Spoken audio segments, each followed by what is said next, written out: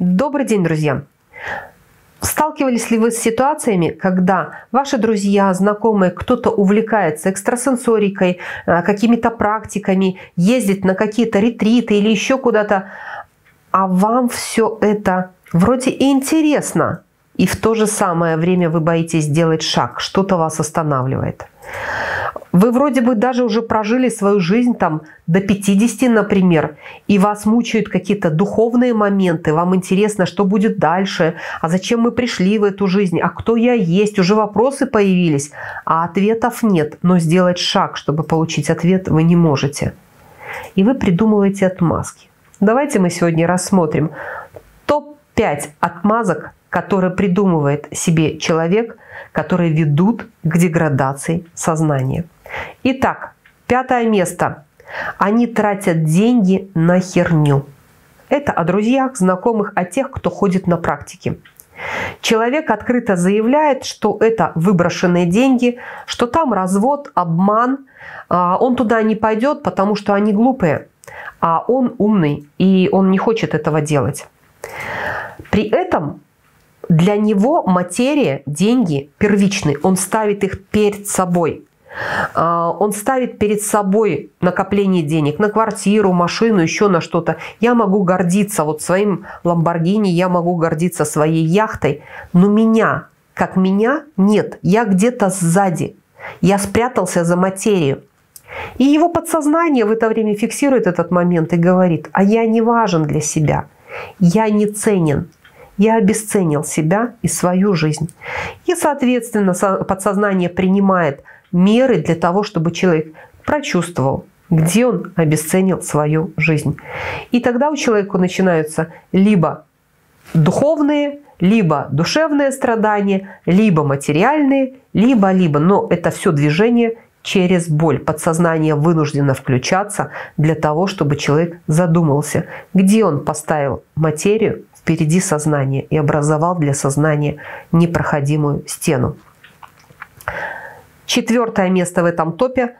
Пусть попробует жена или муж, а я уж потом, может быть, когда-нибудь.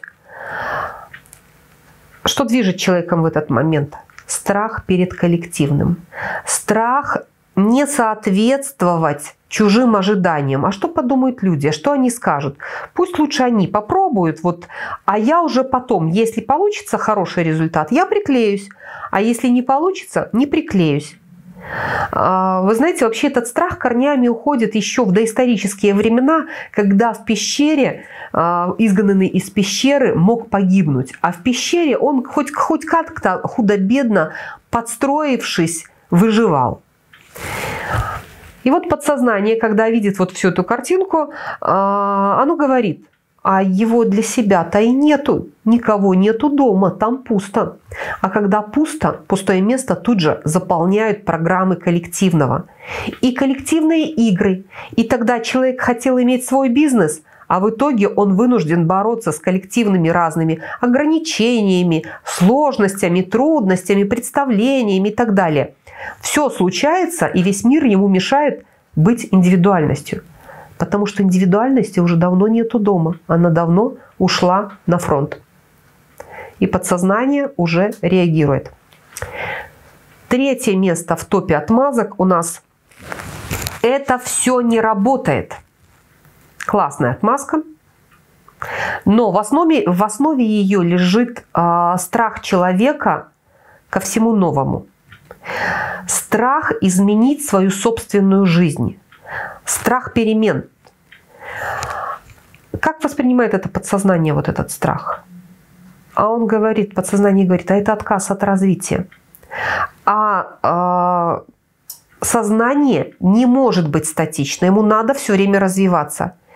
И тогда подсознание вынуждено причинить боль, сформировав болезнь. И тогда либо ты развиваешься через боль, либо меняем тело и будешь развиваться в новом теле, в новой игре. Но все равно ты будешь развиваться. Другого не бывает. Второе место в нашем рейтинге – в себя ходить нельзя. – это грех. Там можно встретить бесов, нечистую силу. Это запрещает религия, там Коран, Библия и так далее. И куча религиозных отговорок. На самом деле человек, когда говорит это, им двигает страх увидеть себя искреннего и настоящего. И даже если заговорить с этим человеком об искренности, то он слово «искренность», где в основе искра, вот это божественная, одна искра, заменит на правдивость, которая подразумевает ложь. То есть уже правда, а ложь – это уже качели. А, либо я прав или не прав – это тоже качели. Но человек боится увидеть себя таким, какой он есть. Просто взглянуть себе в глаза. Когда это бывает в подсознании? Когда ты предал себя, когда ты отвернулся от себя. И ты не можешь себя за что-то простить. И ты игнорируешь себя любыми способами – только чтобы не вернуться к себе, не заглянуть вовнутрь и не взять ответственность за свою жизнь на себя. Ты вынес Бога наружу и не хочешь возвращать его домой, не пускаешь домой. И самое интересное, что тогда э, возвращение к себе бывает только через боль. Это путь страданий. И религия очень хорошо оправдывает эти страдания.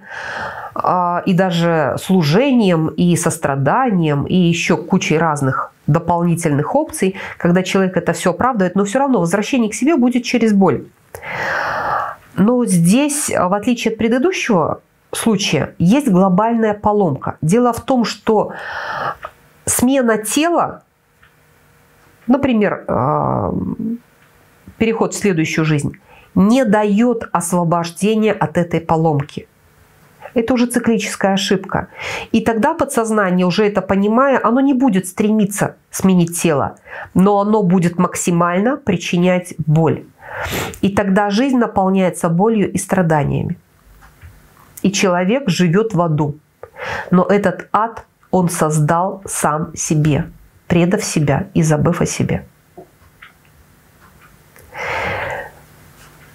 Эта глобальная поломка возникла в результате жестких догматических ограничений, как правило, религиозного толка. И это серьезные поломки, ведущие вплоть до психических заболеваний, расстройств. И при этом человек от них не умирает. Мучается, страдает, болеет, сходит с ума, но живет. И первое место в нашем топе отмазок занимает «Я уже духовно развит, я в гармонии, я вообще доверяю только науке». И вот аналог. Это остановка. Сознание не может не, а, не двигаться, оно не может остановиться. Оно все время течет, но оно течет либо в развитие, либо в деградации. Любая остановка чревата тем, что она будет снесена. То есть вам кажется, что вы сейчас в гармонии, но эта гармония статична и иллюзорна. Как только сознание понимает, что все, зависание произошло, пропадает интерес к жизни, и наше сознание вынуждено снести все ограничения, все остановки и заставить человека двигаться. И самое интересное, что подсознание для этого, вот гармония, вот все классно, ромашки, бабочки, цветочки, а подсознание смотрит, произошло зависание, и оно ждет момент, когда нанести удар. Гол. И человек побежал развиваться. Но это гол свои собственные ворота. То есть Потом это оправдают. За, черное, за белой полосой приходит черное. А как только было много счастья, тут же жди беды и так далее. Это все народная мудрость. А на самом деле вы зависли, а сознание не может не течь. И оно забивает гол в свои ворота для того, чтобы сдвинуть вас с мертвой точки. Итак, топ-5 гнилых отмазок я озвучила. И это выбор человека развиваться, в принципе, или деградировать. Засыпать или просыпаться. Сознанию важно движение. Если вы двигаетесь в развитии, Если вы просыпаетесь, то ваша жизнь наполняется радостью и счастьем. Вы создаете рай, и вы живете в этом раю. Если вам хочется остановиться, зависнуть, если вы предаете себя, если вы себя обесцениваете, если вы себе не нужны, если, если, если, идет деградация. И тогда ваше подсознание вынуждено причинить вам боль. Это единственный механизм, который по-любому заставляет человека двигаться. И будет это болезнь, будет это смена тела, будет это гол свои ворота или еще какой-то вариант. Это уже не имеет значения. Важно, что это будет через боль. Вы сами создали свой ад. Вы пришли в рай и создаете из него ад. А разум где?